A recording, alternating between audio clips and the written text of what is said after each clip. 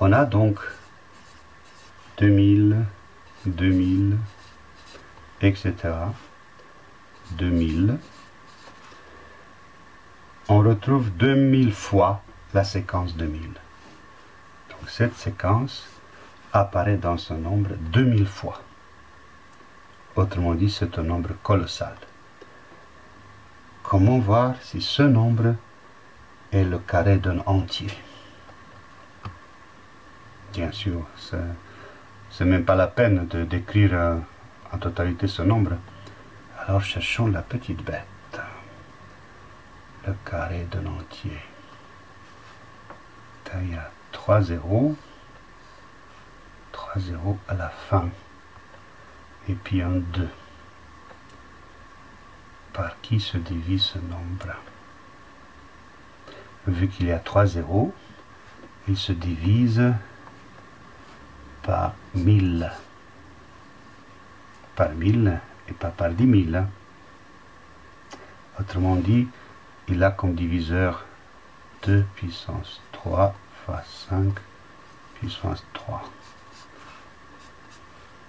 bien sûr 2, il est encore diviseur de ce nombre, mais 5, 5, il apparaît que 3 fois ici. Ce nombre se divise par 5 puissance 3 et pas par 5 puissance 4, ni par 5 puissance 5, etc. Hein. Il n'y a que ces trois chiffres qui nous disent que le nombre se divise par 5 puissance 3. Oui, alors, vous allez me dire à quoi ça sert. Mais ça sert parce que cet exposant, c'est un nombre impair.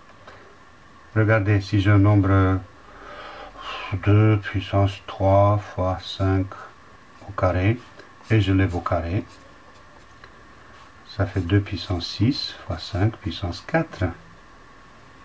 Ça, c'est le carré de ça. Et le carré, les exposants sont tous pairs. Hmm, vous saviez?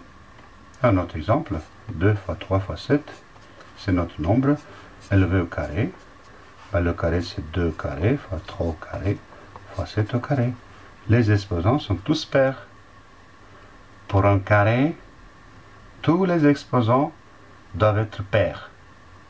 Voilà la trouvaille qui peut nous aider pour notre problème. Parce que si on regarde 5 puissance 3, c'est dans ce nombre.